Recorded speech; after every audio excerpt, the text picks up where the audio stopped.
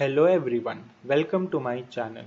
So in today's video, I will cover an interesting interview question which is how to print the last observation in your SAS dataset. Okay, so let's say you have a dataset okay and in that you just want to print the last observation. So in that there can be two conditions right First condition can be where we know the number of observation in the data set. So let's say I have sashelp.class. In this, I know that 19th is the last observation, which is William, male, 15 age, 66.5 height, and weight is 112. So the last observation is William and I want to print it. But I know that the observation number is 19, right? So in this case where we know the number of observation what we can do is data data set name let's say final set SAS help dot class.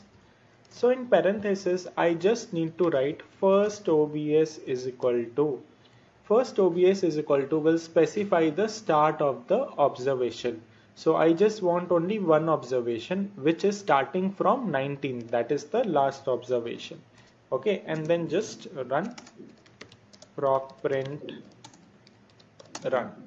So what will happen? I'll get the last observation printed which is your William okay it's taking some time yeah we got it so William male 15 over here you can check it is your last observation so this is one method but here we knew the number of observations. So we can directly specify the last observation in first OBS and we'll get it.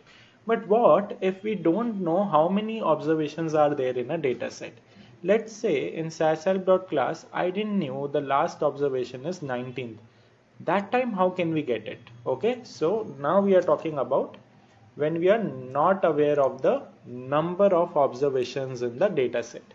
That time what we can do is let's say data report set is your class you can use your end is equal to so what does end is equal to helps you to get end is equal to will actually create and name a temporary variable which indicates your end file okay so end is equal to will give some name let's say last so this is the name i'm giving for your last file indicator so the last file indicator or end file indicator is what? The last observation.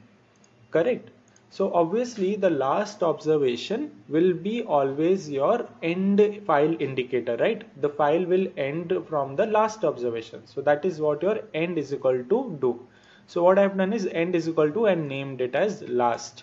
So now I want to print it, right? So what I'll do, I'll just write if last and then run proc print run so now I will get the last observation. See William M15 so this is how we can get the you know the last observation. Using your end is equal to.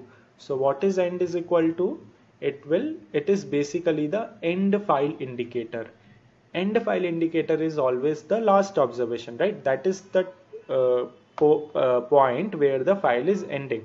That is why and then to print it I've used if last semicolon. So these are the two ways to do it okay? I hope my video is clear to all of you.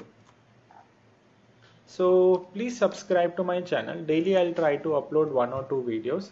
Thank you everyone